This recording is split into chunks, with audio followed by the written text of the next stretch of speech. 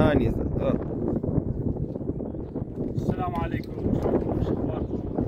الحمد لله والشكر جهاز مضبوط و100% ونشكر شركة دزلوي صنعاء على هاي الشركة الطيبة.